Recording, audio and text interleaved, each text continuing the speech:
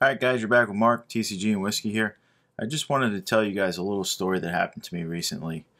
So, as you know, I open a lot of older product on the channel, and UFC was always printed with Topps. And I must have been the king of getting redemptions, expired redemptions from Topps. Some guys no good, some guys really good. It was very mixed, but just almost every time I'd open something, it felt like maybe guys waited out or something, I don't know. But I had email Topps, email Topps, email Topps, try to put in the codes. Nothing was working. I didn't get any response from them. I figured, well, it's not really their fault. It's my fault. It was expired. I get it. It's part of the rules. So I went online, did a little bit of searching, and I found someone saying that if you write them a nice letter, that they would send you out a care package kind of deal. So after a few months, actually, Topps did write me but I'd, I had already done the paperwork. So I wrote a letter very recently telling them about how I'm a huge collector and a few of the cards would make a great piece of my collection and everything like that. I also collect soccer, so I tell them I still buy a lot of Topps products, which is true. I could open other things on the channel if wanted, but so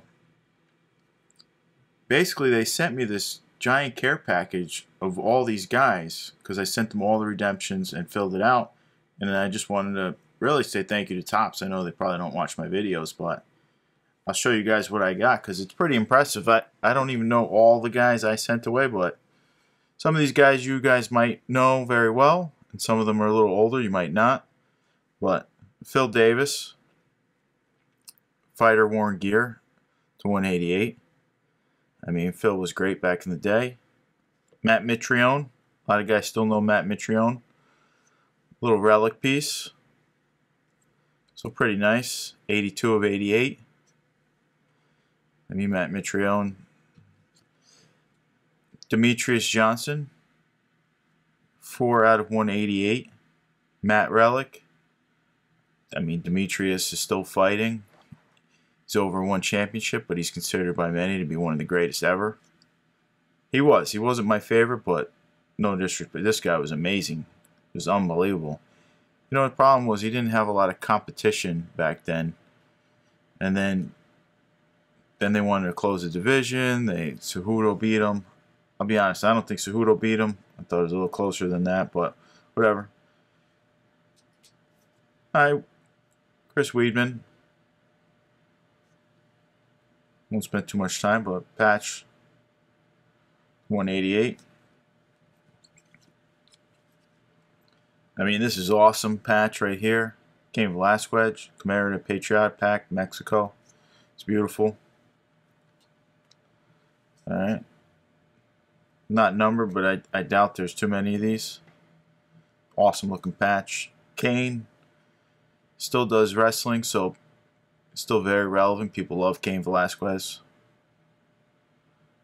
I didn't watch as much back then. I did watch, but I wasn't super, super into it.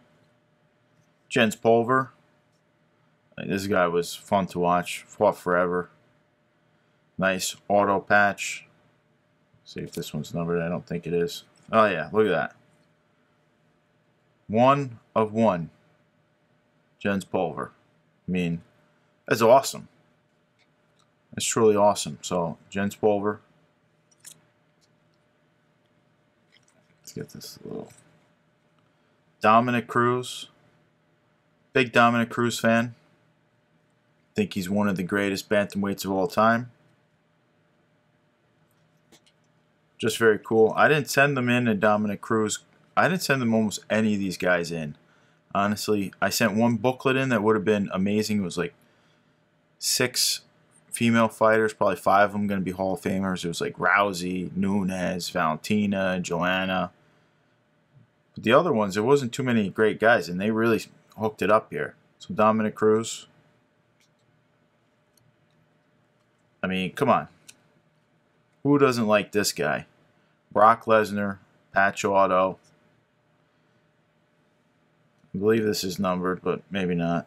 All right, not numbered. 2011 Topps title shot, though. I mean, how cool is that? Brock Lesnar.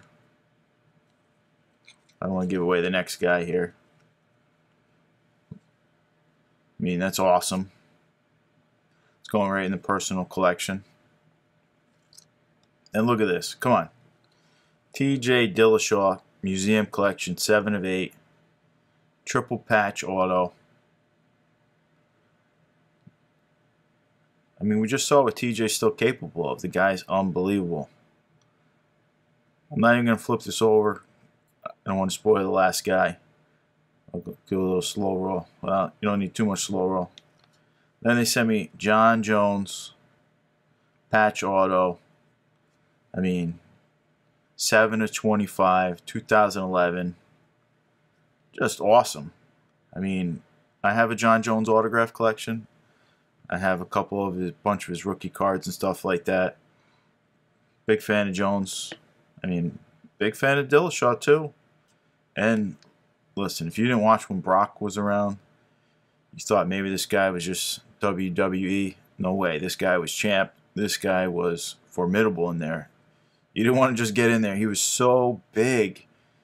It was unbelievable. It was amazing to watch. Go back and watch some of his fights. He lost his first fight, I believe, in the UFC.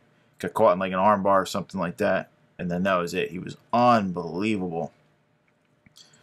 And like I said, Jon Jones, I mean, just was awesome. I just wanted to go over that with you guys. I probably sent them about six, and you can see they gave me back more than six. Like I said, one was a booklet, but other than that, these are probably better than what I would have received from them. I just want to tell you guys that story in case you guys are holding on to some old redemption cards. Send them a letter. They really hooked it up. Gotta appreciate Topps for this. It's a good move. All right, thanks for joining me. I'll see you.